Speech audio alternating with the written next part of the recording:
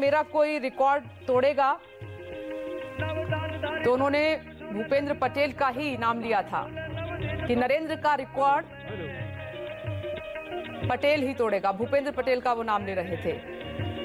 हार, भले ही MCD election BJP हार गई, भले हिमाचल हार गई, लेकिन गुजरात ने जो प्रचंड जीत दी है, उससे गदगद है बीजेपी आज जश्न के तौर पर उसी खुशी को आप देख रहे हैं। बीजेपी के चाणक्य कहे जाते हैं गृह मंत्री अमित शाह, मंच पर आज चेहरा देख रहे हैं आप, अलग से है, सुकून अलग से है, जीत की खुशी उनके चेहरे पर साफ़ तौर पर नज़र आ रही है। थोड़ी देर में, बस थोड़ा सा इंतज़ार और कीजिए। ओथ सेरेमनी की शुरुआत होने जा रही है। ये देखिए, शपथ विधि समारोह, जिसकी तैयारियाँ पूरी हो चुकी हैं। पूरा जो मैदान है, वो भर चुका है। बड़ी संख्या में लोगों ने अपनी मौजूदगी दर्ज कराई है। तमाम वीआईपीज वहाँ पर पहुँच चुके हैं। मंच सच चुका है। बस अब प्रधानमंत्री नरेंद्र मोदी के आने का इंतज़ार हो रहा है और जैसे ही वो पहुँचेंगे आप देखिएगा इस समारोह की तस्वीर एकदम बदल जाएगी। फ़िलहाल बीजेपी के लिए आज बड़ा दिन है।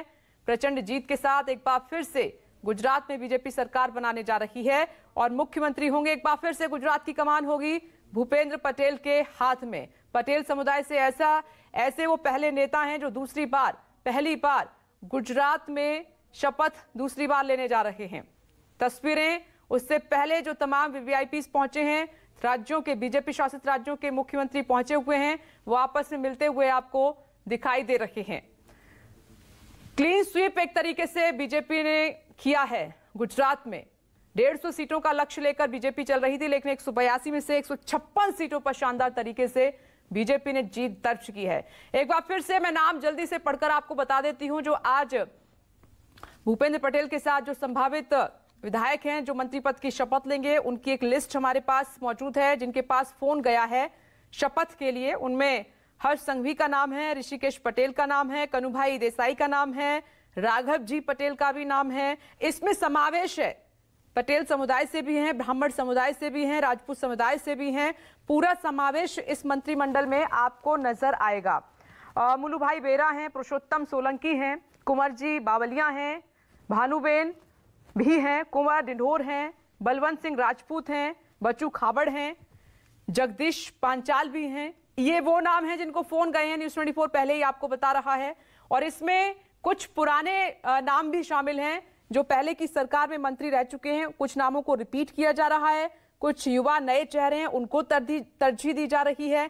कुछ महिलाओं के नाम भी इसमें शामिल हैं, जो मंत्री पद की शपथ लेंगे। तो बहुत सोच समझकर दिल्ली में चिंतन मंथन हुआ है और उसके बाद ये नाम फाइनल हुए हैं, जो आज आपको सीएम के साथ मंत्री पद की शपथ लेते हुए दिखाई देंगे।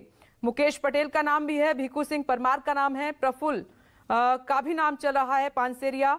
कुंवर जी का भी नाम सामने आ रहा है। ये वो विधायक जिनको गई है कॉल। देखिए नाराज़गी का तो सवाल भी नहीं उठता है क्योंकि कई बार अमूमन आपने सरकार में देखा होगा जब नई सरकार का गठन होता है दूसरी पार्टियों में तो जब आ, मंत्रियों की लिस्ट फाइनल होती है तो नाराज़गी का दौर चलता है और उस, उस चैलेंज को उस चुनौती का सामना करना इतना आला कमान के लिए आसान नहीं होता।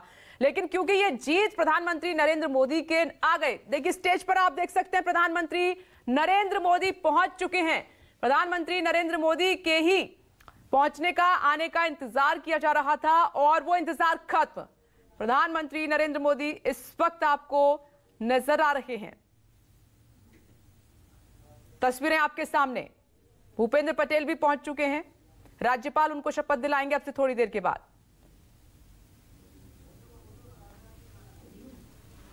थोड़ी देर में ओथ सेरेमनी की शुरुआत होने जा रही है। पूरी तैयारियाँ हो चुकी हैं। शपथ ग्रहण समारोह में प्रधानमंत्री नरेंद्र मोदी इस वक्त आपको नज़र आ रहे हैं। बस कुछ कुछ सेकंड का और इंतज़ार और उसके बाद ओथ सेरेमनी शुरू होने जा रही है। बीजेपी का ये भव्य शपथ ग्रहण समारोह शुरू हो रहा है। भले ये पोजीशन इसे शक्ति प्रदर्शन बता रहा है, खर्चे से भी जोड़कर देख रहा है, लेकिन बीजेपी तो हर बार जश्न ऐसे ही मनाती है। आपने हर चुनाव में जीत दर्ज करने के बाद देखा और सुना।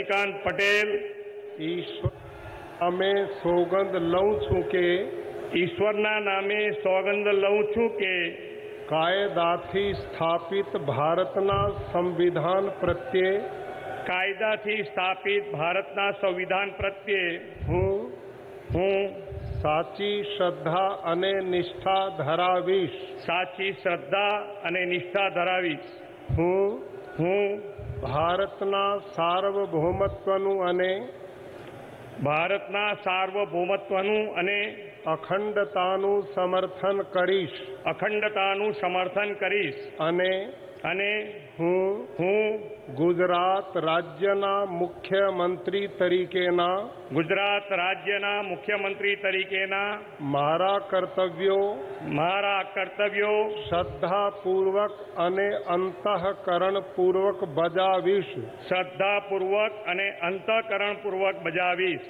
અને અને ભય કે પક્ષપાત ભય કે પક્ષપાત રાગ કે દ્વેષ વિના રાગ કે દ્વેષ વિના તમામ લોકો સાથે તમામ લોકો સાથે સંવિધાન અને કાયદા અનુસાર સંવિધાન અને કાયદા અનુસાર ન્યાયપૂર્વક વર્તીશ ન્યાયપૂર્વક વર્તીશ હું હું ભૂપેન્દ્ર રજનીકાંત પટેલ ઈશ્વરના નામે સોગંદ લઉં છું કે ઈશ્વરના નામે સોગંદ લઉં છું કે હું હું ગુજરાત રાજ્યના મુખ્યમંત્રી તરીકે ગુજરાત રાજ્યના મુખ્યમંત્રી તરીકે જે કોઈ બાબત જે કોઈ બાબત મારી વિચારણા માટે લાવવામાં આવશે મારી વિચારણા માટે લાવવામાં આવશે અથવા અથવા મારા જાણવામાં આવશે. મારા જાણવામાં આવશે. તેની જાણ તેની જાણ એવા મુખ્યમંત્રી તરીકેના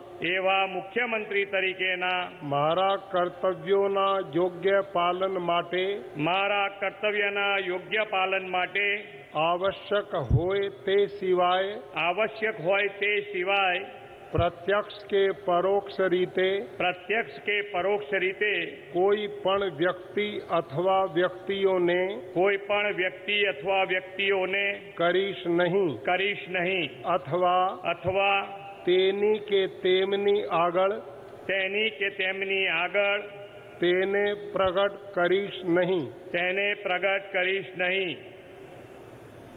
धन्यवाद।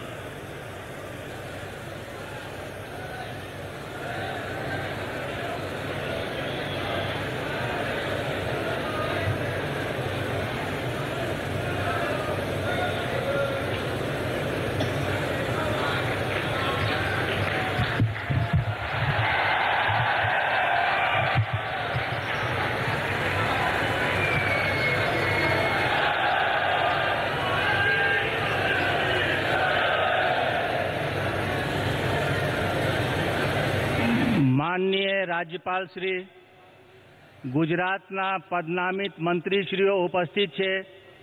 એમને સોગંદવિધિ માટે આપની સમક્ષ રજૂ કરવાની અનુમતિ આપો તેવી વિનંતી છે. શ્રી કનુભાઈ મોહનલાલ દેસાઈ.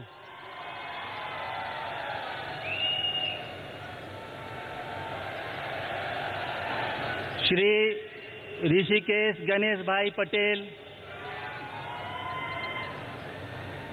શ્રી પટેલ રાઘવજીભાઈ હંસરાજભાઈ શ્રી બલવંતસિંહ ચંદનસિંહ રાજપૂત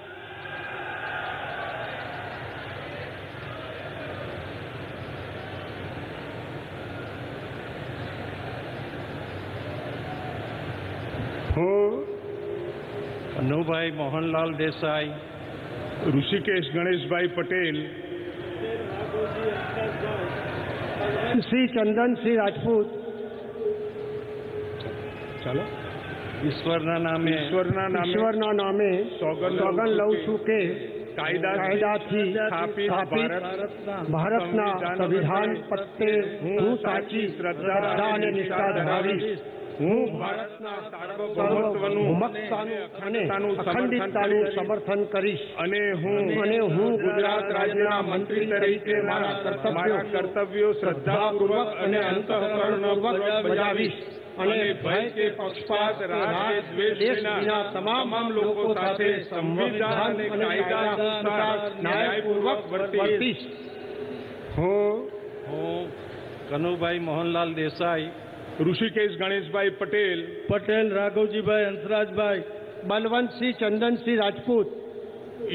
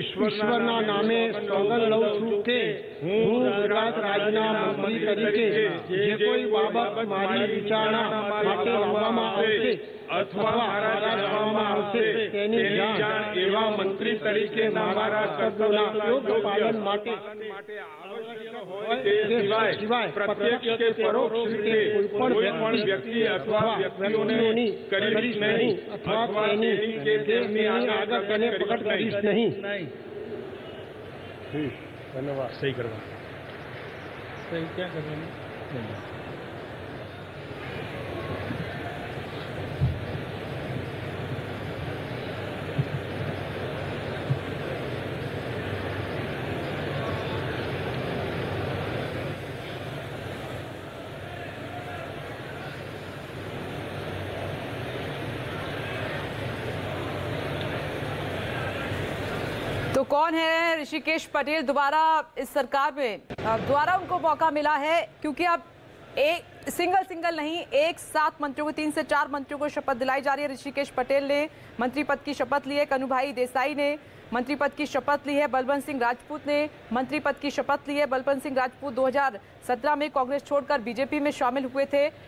कनु भाई देसाई दक्षिण गुजरात में अच्छी खासी पकड़ रखते हैं। कौन है कनु भाई देसाई?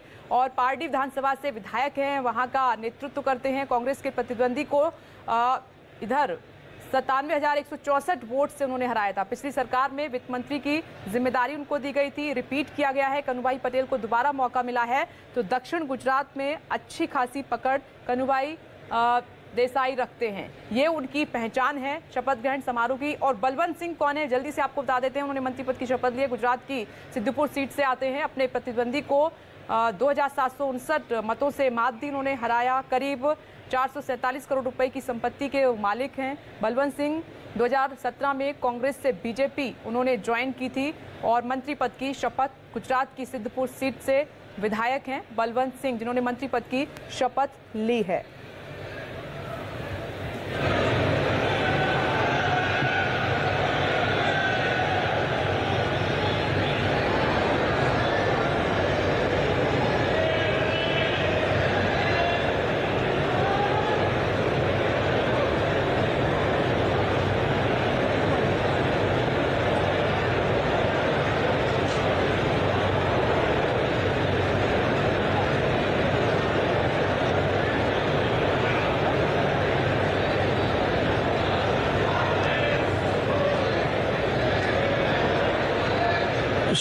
कुंवर जी, मोहन भाई, बावड़िया। श्री आयर मुलू भाई, हरदास भाई बेरा। डॉक्टर कुबेर भाई, मनसुख भाई डिंडोर। श्रीमती भानुबेन मनोहर भाई, बावड़िया।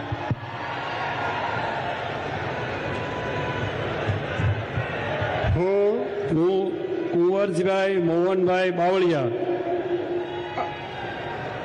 આયર ગુરુભાઈ હરદાસભાઈ બેરા. હું ડોક્ટર કુબેરભાઈ મનસુખભાઈ ડિંડોર. હું શ્રીમતી ભાનુબેન મનોહરભાઈ બાબરિયા. ઈશ્વરના નામે સોગંદ લઉં સોગંદ લઉં છું. કે કાયદાથી સ્થાપિત ભારતના સંવિધાન પ્રત્યે સાચી શ્રદ્ધા અને સાચી શ્રદ્ધા અને નિષ્ઠા ધરાવીશ.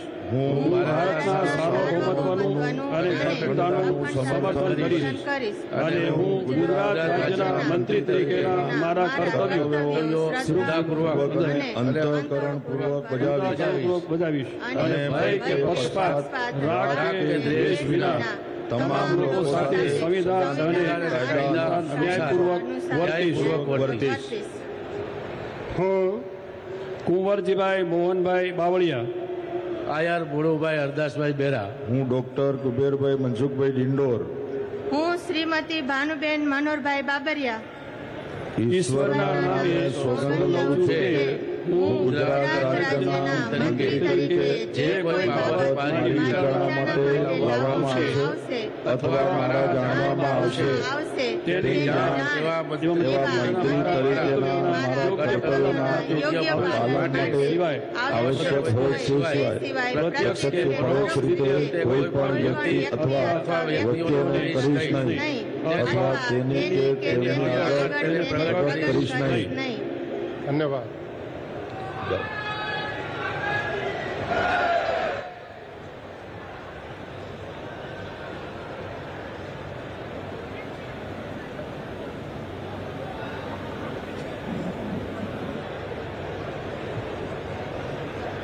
मुझे कुछ सुनाई दे तो मैं कमेंट्री दूँ ना?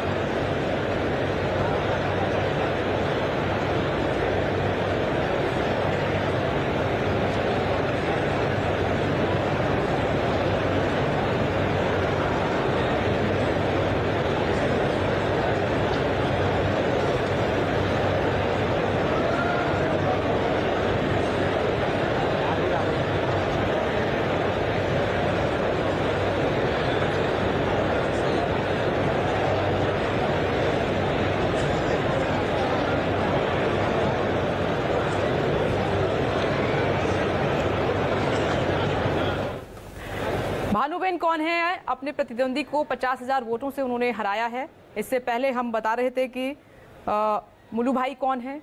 अब भानुबेन की बारी है। राजकोट ग्रामीण से विधायक हैं। राजकोट ग्रामीण विधानसभा सीट का नेतृत्व करती हैं। मुलू भाई बेरा खम्बालिया सीट से विधायक हैं। पिछली सरकार में भी मंत्री थे। एक बार फिर से उनको मौका दिया गया है। आम आदमी पार्टी की तरफ़ से ईशुदान गढ़वी जो सीएम कैंडिडेट थे उनको 18,000 वोटों से मुलू भाई बेरा ने मात दी। गुजरात सरकार में मंत्री रहे, उनके अच्छे काम को देखते हुए एक बार फिर से उनको मौका मिला है। खम्बालिया सीट से आते हैं। भानुबेन को आप देख रहे हैं, राजकोट ग्रामीण सीट से आती हैं, नेतृत्व करती हैं। इस वक्त हस्ताक्षर करती हुई ओथ के बाद आपको नज़र आ रही हैं। भानुबेन बाबरिया।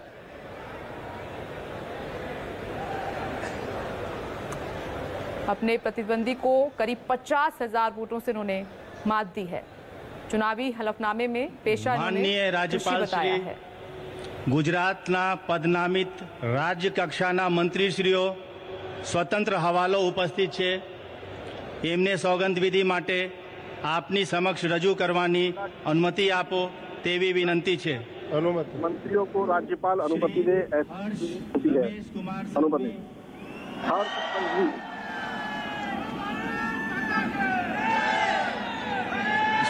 हर्ष संघवी શ્રી જગદીશ વિશ્વકર્મા श्री जगदीश विश्वकर्मा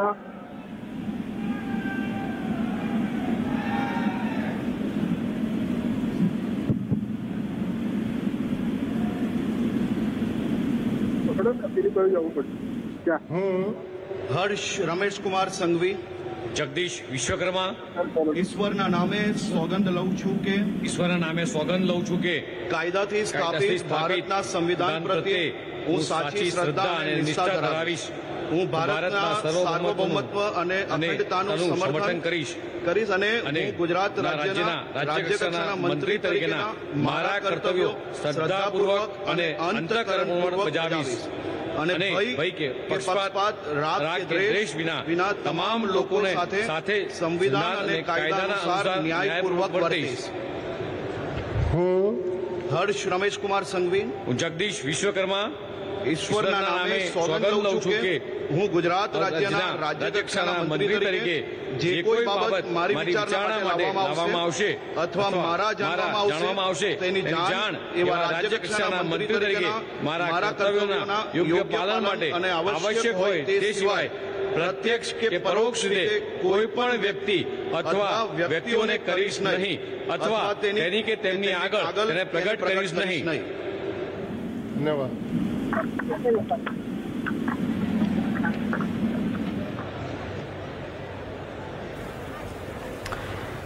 तो हर्ष संघवी जिनका नाम काफ़ी चर्चा में भी है, संगठन से जुड़े हुए हैं और प्रधानमंत्री नरेंद्र मोदी गृह मंत्री अमित शाह के बेहद करीबी, उनके विश्वास पात्र 27 साल की उम्र में एमएलए बने, पिछली सरकार में गृह मंत्री रहे। एक बार फिर से उनको दूसरी सरकार में भी मौका मिला है बीजेपी युवा मोर्चा के।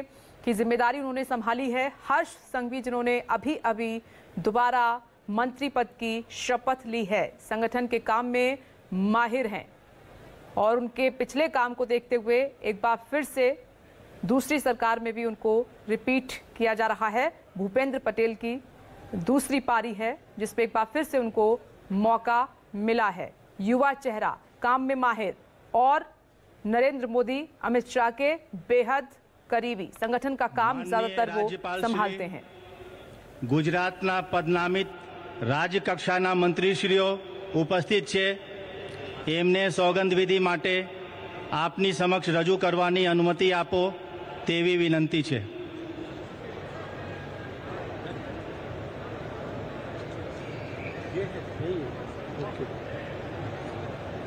શ્રી પરસોત્તમભાઈ ઓધવજીભાઈ સોલંકી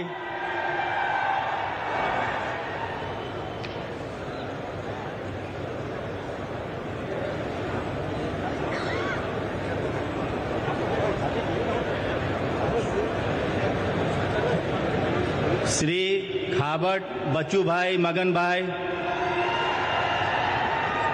શ્રી મુકેશભાઈ જીનાભાઈ પટેલ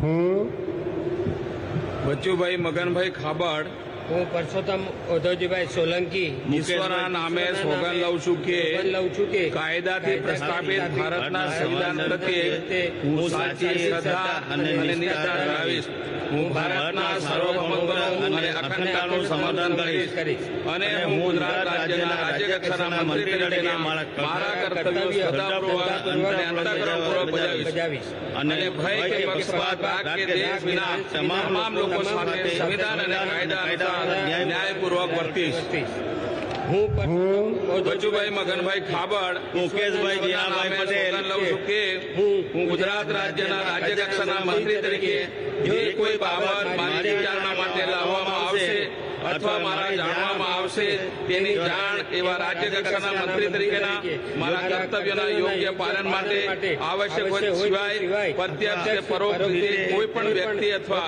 વ્યક્તિઓને કરીશ નહીં. અથવા તેની કે તેમની આગળ તેને પ્રગટ કરીશ નહીં. ધન્યવાદ. ઉતાવળમાં કરો ઉતાવળ કરો નામ મને બોલવાનું દે નામ પહેલું જ બોલવાનું છે ને આપણે હું બોલું રેગ્યુલર ચાલુ કર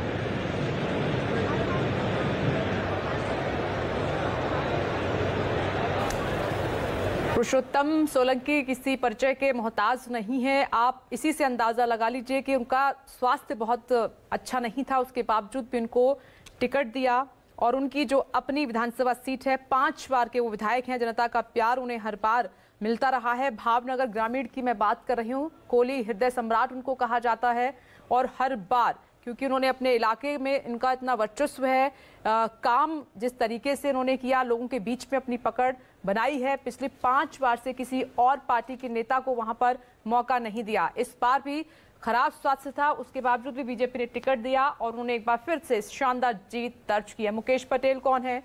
आपकी टीवी स्क्रीन पर जिन जिन जिन विधायकों ने मंत्री पद की शपथ ली है, महसाणा विधानसभा सीट का नेतृत्व करते हैं विधायक हैं। पैंतालीस हज़ार सात सौ चौरानवे वोटों के अंतर से कांग्रेस प्रत्याशी को इन्होंने मात दी, हराया। महसाणा विधानसभा सीट से आते हैं मुकेश पटेल। देखिए, तीन जो विधायक हैं पटेल समुदाय से आते हैं, जिन्होंने मंत्री पद की शपथ ली है।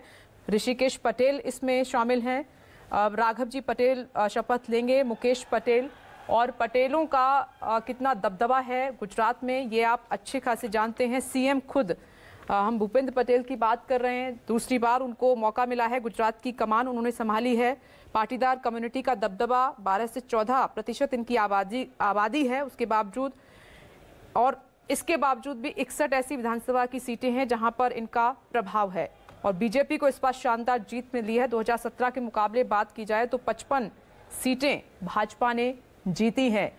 पाटीदार समुदाय को कांग्रेस ने भी लुभाने की कोशिश की, अपने पाले में करने की कोशिश की, आपने भी। लेकिन बीजेपी को प्यार मिला है।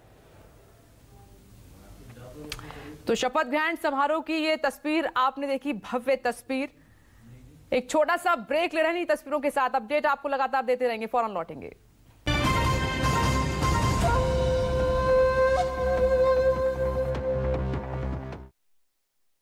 हाँ शुक्ला जी भिजवाना सिर्फ़ अल्ट्राटेक ही मान गया बेटा।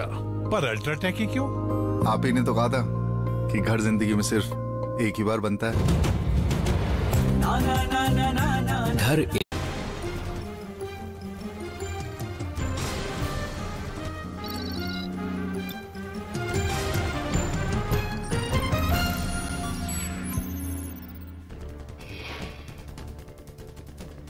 बीजेपी की बंपर जीत के बाद आज लगातार दूसरी बार गुजरात के सीएम बनेंगे भूपेंद्र पटेल। आज दोपहर दो बजे भूपेंद्र पटेल की ताजपोशी होगी। गांधीनगर विधानसभा परिसर के हेलीपैड ग्राउंड में होगा शपथ ग्रहण समारोह। राज्यपाल भूपेंद्र पटेल को दिलाएँगे शपथ। शपथ ग्रहण समारोह, पीएम मोदी, जेपी नड्डा, अमित शाह, राजनाथ सिंह समेत बीजेपी शासित प्रदेशों के मुख्यमंत्री भी इसमें मौजूद रहेंगे। गुजरात में बीजेपी ने 156 सीटों पर जीत हासिल की है। सूत्रों के मुताबिक भूपेंद्र पटेल की नई कैबिनेट में करीब 16 चेहरों को मिल सकती है जगह। मंत्रिमंडल में एक महिला चेहरे को भी जगह मिल सकती है।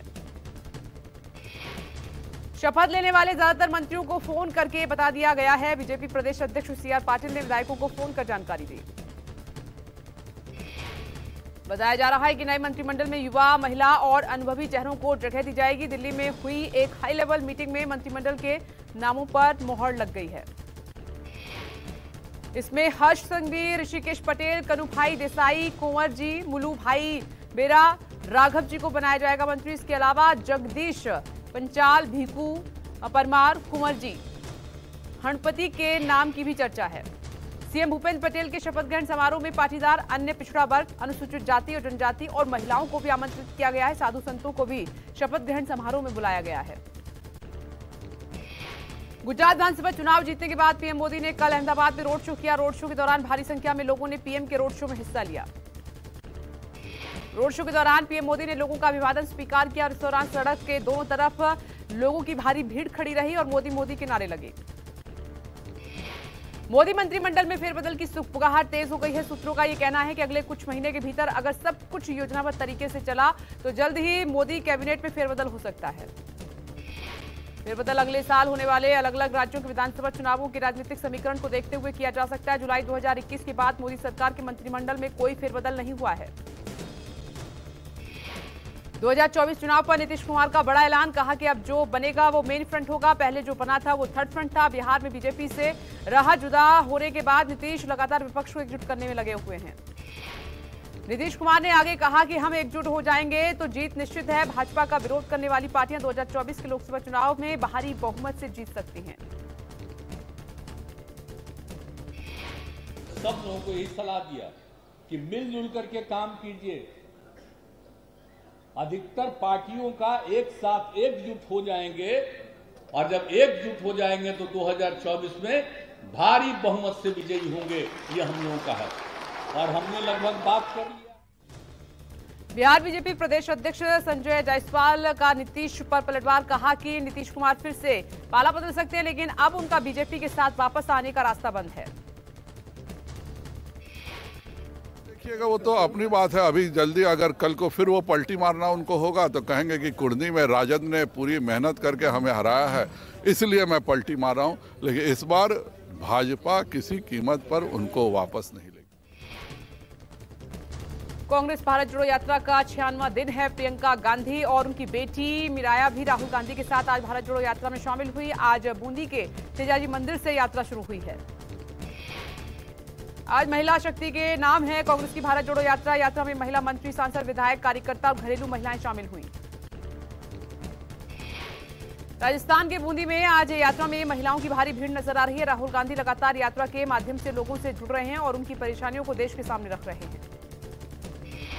हिमाचल प्रदेश सचिवालय में मुख्यमंत्री सुखविंदर सिंह सुक्खू ने कार्यभार संभाल लिया है। औपचारिक तौर से कार्यभार ग्रहण करने के बाद अधिकारियों ने सीएम सुक्खू को बधाई दी। सीएम सुक्खू ने कहा कि जनता ने एक आम परिवार के व्यक्ति को, जिसने कभी नहीं सोचा था कि वो सीएम की कुर्सी की बागडोर पर पहुंचेगा, जनता को बहुत बहुत धन्यवाद। महाराष्ट्र के राज्यपाल भगत सिंह कोश्यारी ने गृहमंत्री अमित शाह को एक चिट्ठी लिखी है। उसमें कहा है कि सक्रिय राजनीति में नहीं रहना चाहता हूँ, मेरा मार्गदर्शन कीजिए। भगत सिंह कोश्यारी ने अपनी चिट्ठी में लिखा कि मुझे राज्यपाल बनाया गया, लेकिन अब मुझे आलोचना का सामना करना पड़ रहा है। मुझे क्या करना चाहिए? केंद्रीय नागरिक उड्डयन मंत्री ज्योतिरादित्य सिंधिया ने औपचारिक औचक निरीक्षण किया है और ज्योतिरादित्य सिंधिया ने दिल्ली अंतर्राष्ट्रीय हवाई अड्डे की टर्मिनल तीन का सरप्राइज़ विज़िट किया। डिंपल यादव ने सांसद के तौर पर शपथ ले ली है। अखिलेश यादव साथ में मौजूद रहे। डिंपल यादव ने भारी वोटों के साथ मैनपुरी में जीत हासिल की है। कांग्रेस के पूर्व मंत्री राजा पटेरिया पर एफआईआर होगी। पीएम मोदी को लेकर दिए आपत्तिजनक बयान पर गृह मंत्री नरोत्तम मिश्रा ने एफआईआर के निर्देश दिए हैं। नरोत्तम मिश्रा ने कहा कि राजा पटेरिया के बयानों को मैंने सुना और उससे स्पष्ट होता है कि ये महात्मा गांधी की कांग्रेस नहीं है। राजा पटेरिया ने अपने बयानों पर सफ़ाई दी, कहा कि बयान का मतलब पीएम मोदी को हराने से था, बयान तो तोड़ मरोड़ कर बताया गया। आगामी लोकसभा चुनाव की तैयारियों को लेकर आज दिल्ली में उत्तराखंड बीजेपी की बड़ी बैठक है और बैठक में शामिल होने के लिए राज्य के सभी सांसदों को भी दिल्ली बुलाया गया है। बताया जा रहा है कि मुख्यमंत्री पुष्कर सिंह धामी बैठक में शामिल होंगे उत्तराखंड के प्रभारी दुष्यंत गौतम की अध्यक्षता में बैठक होगी। दिल्ली की पटियाला कोर्ट में पेशी के लिए पहुँची actress Jacqueline Fernandez. Money laundering मामले में जैकलिन फर्नांडिस की पटियाला हाउस कोर्ट में पेशी। बताया जा रहा है कि कोर्ट में पेशी के दौरान अभियोजन पक्ष अपनी दलीलें कोर्ट के सामने रखेगा। ठग सुकेश चंद्रशेखर से जुड़े 200 करोड़ रुपए के मनी लॉन्ड्रिंग मामले में आरोपी हैं जैकलिन पठान फ़िल्म की रिलीज़ से पहले माँ वैष्णो देवी के दरबार में पहुँचे शाहरुख खान और शाहरुख ने माता वैष्णो देवी की दर्शन आप देख रहे हैं संजीवनी एक ऐसा शो जहाँ हर रोज होती है आपकी सेहत की बात डॉक्टर प्रताप चौहान के साथ। पिछले कुछ समय से हम लोगों को इम्यूनिटी शब्द का मतलब बखूबी समझ में आ गया है। लेकिन आयुर्वेद में इम्यूनिटी का अर्थ क्या है और इम्यूनिटी बढ़ाने का जीवा मंत्र क्या है आइए देखते हैं। चंद दवाएँ खाकर और कुछ नुस्खे अपनाकर इम्यूनिटी नहीं बढ़ती। इम्यूनिटी बढ़ानी है तो आयुर्वेद अपनाएँ और मुझसे जीवा मंत्र पाए।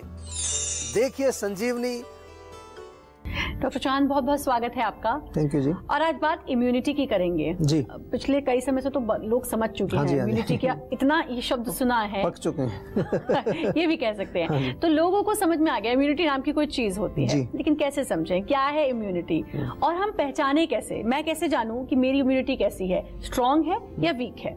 देखिए सरल भाषा में तो अगर हम कहें तो रोग प्रतिरोधक शक्ति यानी कि रोगों से लड़ने की जो शक्ति होती है हमारी उसको इम्यूनिटी कहा जाता है। डेफिनेटली ऑफ़ कोर्स अगर हम आयुर्वेद की भाषा में अगर बात करेंगे तो आयुर्वेद में इम्यूनिटी का जो मतलब होता है, वो ये है कि हमारे बॉडी के अंदर जो धातु बनते हैं, जो हमारे शरीर के अंदर जो टिश्यूज़ हैं, उनकी जो एक एसेंस होती है, उनको जो हम जिसको ओजस कहते हैं, उसको हम इम्यूनिटी आयुर्वेद में बोलते हैं। तो थोड़ा सा डिफरेंस है मॉडर्न मेडिसिन में थोड़ा अलग तरीके से हम कहते हैं। लेकिन फिर भी उसका भी पर्पज़ यही है कि रोगों से लड़ने की जो हमारी शक्ति है, जिसको हम आयुर्वेद में व्याधि क्षमत्व के नाम से कहते हैं। तो ये प्रिवेंशन में भी काम करती है और उसके साथ साथ जो है डिज़ीज़ अगर शरीर में कोई हो जाए तो उसको लड़ने में भी सहायक होती है। लेकिन ये किस चीज़ पर निर्भर करती है कि आपका शारीरिक बल कैसा है, आपका मनोबल कैसा है? ये देखिए माइंड में भी आयुर्वेद जाता है। और यही नहीं, आपका स्पिरिचुअल स्ट्रेंथ कैसा है? तीनों लेवल पर अगर आपका बल स्ट्रांग है तो आपकी इम्यूनिटी स्ट्रांग होगी। केवल वो नहीं कि आप कुछ खा लिया, आपने कुछ टॉनिक ले लिया। सरल भाषा में हमेशा जैसे मैंने कहा, इसको हम ओजस बोलते हैं या ओज शक्ति बोलते हैं। धातुओं का सार है ये, जितने भी धातु बनते हैं, उनका एक एसेंस है।